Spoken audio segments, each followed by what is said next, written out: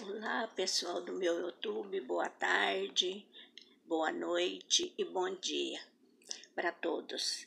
É, hoje eu vou gravar para vocês mais dicas do é, Juntos a Bordo, né? Que faz dias que eu não gravo, então hoje eu vou gravar dicas de como não enjoar na viagem. É, tem muita gente que enjoa, né? Eu, por exemplo, eu, tem vezes que eu enjoo, sabe? Num, às vezes eu tô viajando assim, eu costumo vi, é, enjoar na viagem. Então, vou gravar hoje para vocês dicas bacanas para não enjoar nas viagens. É, é, pode acontecer no ônibus, né? Carro, avião ou barco. O cérebro tem dificuldade de se acostumar com a movimentação constante e ficamos tontos e com mal-estar. Nem todo mundo se sente assim, mas há dicas simples que ajudam a evitar o desconforto. Antes da viagem, evite alimentos que provocam gases, incluindo bebidas alcoólicas e refrigerantes Evite também comer muito ou ficar muito tempo em jejum. Escolha roupas e sapatos confortáveis que não apertem. Compre uma passagem nas poltronas do corredor onde a sensação de estabilidade é maior. Durante a viagem, para evitar crises, consuma alimentos ricos em fibras, como maçã, banana, biscoitos, água e sal, e castanhas, e se hidrate durante toda a viagem. Mas tanto os alimentos como os líquidos devem ser ingeridos em pequenas quantidades. Outras dicas como é, outras dicas, né, por exemplo, é, pouco comentadas, mas eficazes, são consumir as balas de gengibre, viu, gente? As balas de gengibre e os sorvetes cítricos que ajudam a acalmar o estômago e agem nos ácidos estomacais. Seguindo estas dicas e se sentindo cada vez melhor, tá? É, você minimiza os efeitos do enjoo durante as viagens o único frio na barriga que você vai ter é de ansiedade e alegria de chegar ao seu destino.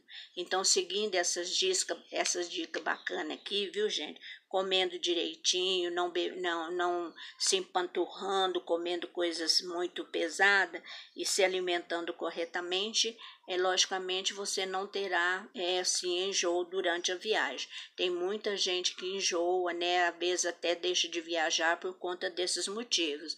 Mesmo tomando remédio, ainda enjoa, tá? E outras dicas também, gente, são as pequenas gentilezas, né? É, durante a viagem. É, então, quando a gente está viajando, a gente precisa praticar alguma gentileza. Entre elas são: lembre-se do com licença, me desculpe e obrigado, tá? Dica número 2: ao ouvir música ou assistir filmes, use fones de ouvido, ok? Principalmente Número 3, a dica, tá, gente? Principalmente nas viagens noturnas, deixe as cortinas fechadas. Se você estiver viajando no ônibus que é, é, o ônibus leito, né? Que é o ônibus que tem as cortinas, ok? Dica número 4, tá? Não ocupe espaço no corredor ou ultrapasse seu limite na poltrona. Dica número 5 e ao fim da viagem cumprimente o seu motorista. São, são dicas de gentilezas, viu, gente? Para se tornar a viagem tranquila, uma viagem legal, muito bacana, se pratica essa gentileza. Agora, uma curiosidade bacana também que eu quero deixar é, junto com essas dicas, gente, é vocês sabiam que a reciclagem de uma lata de alumínio economiza energia suficiente para manter uma TV ligada por três horas? É, gente. Cerca de mil pessoas no Brasil vivem exclusivamente de coletar latas de alumínio. O vidro pode ser infinitamente também reciclado. Olha que bacana, né, gente? Outra dica, gente, muito legal também que eu vou deixar aqui hoje, também incluído é, é, juntos a bordo, tá? Do é, o jornalzinho junto da bordo, que é o minimize o efeito dos agrotóxicos nos alimentos, é, gente.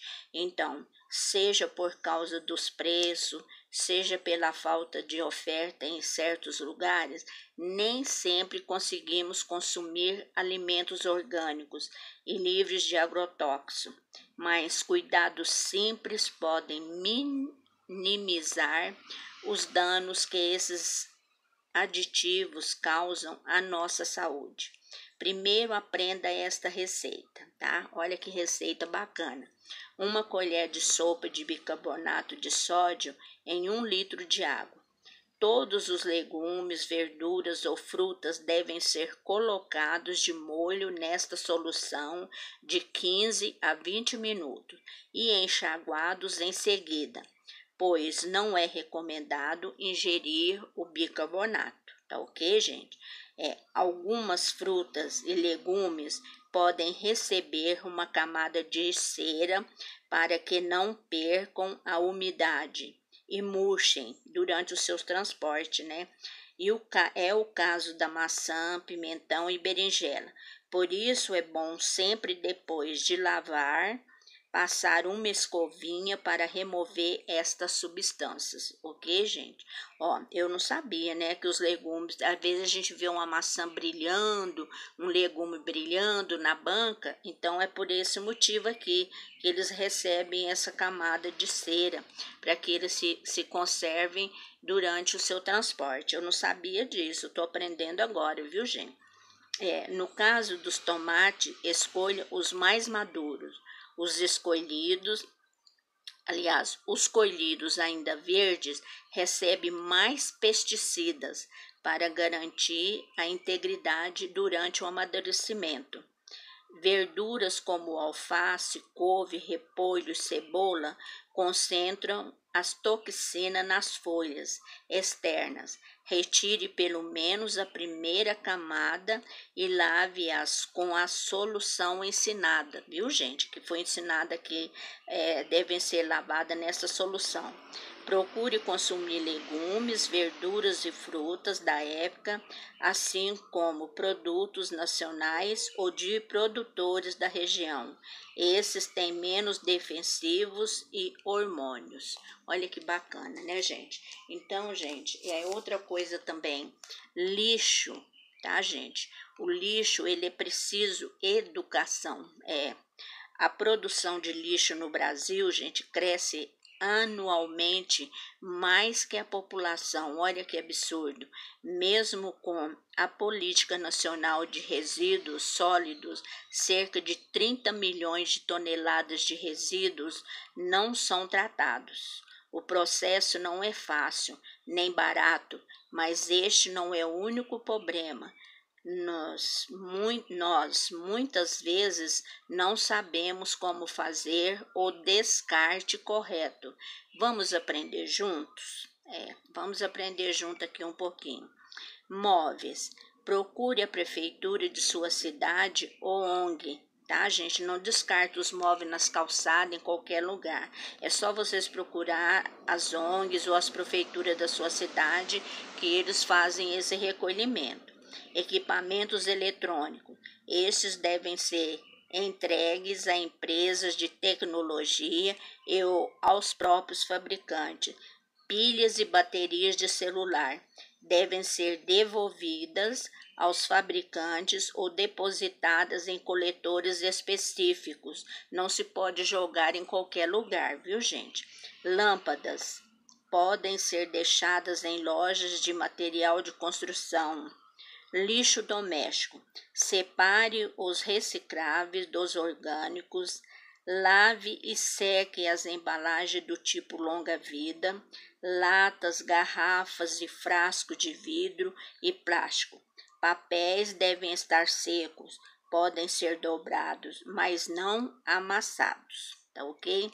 O óleo de cozinha não pode ser descartado no lixo comum O correto é armazenar o óleo velho em garrafas PET e entregá-los em posto de coleta. Objetos cortantes podem machucar as pessoas que recolhem o lixo, por isso embalem-os. Quando, por exemplo, quebrar um copo, é, um vidro qualquer, não se pode jogar de qualquer jeito, tem que embalá-los corretamente e, se possível, colocar dentro de uma caixa, viu, gente, para que os coletores de lixo não, se, não venham a se machucar, tá ok? Não podem ser reciclados, ó, o que não pode ser reciclado: papel carbono, fita crepe, guardanapos, copos de papel, esponjas de aço espelhos, cristais, porcelanos. É, se você está procurando um local de descarte, acesse o site e recicle e consulte os postos de coleta pelo seu CEP.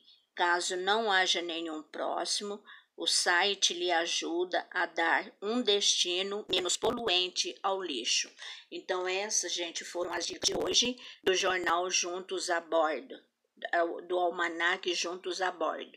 Então são dicas muito úteis, dicas muito boas, tá? Para quem aí viaja, que sente mal, que enjoa, tem a dica, a dica de como é, esterilizar aí as verduras pode estar tá comendo sem agrotóxico e como reciclar o nosso lixo. Espero que vocês gostem do vídeo de hoje, curtem bastante, deixa aí os comentários de vocês, o joinha de vocês. Fiquem com Deus e um beijo no coração de cada um da Vilminha. Uma ótimo, um ótimo final de tarde de quinta-feira para todos vocês.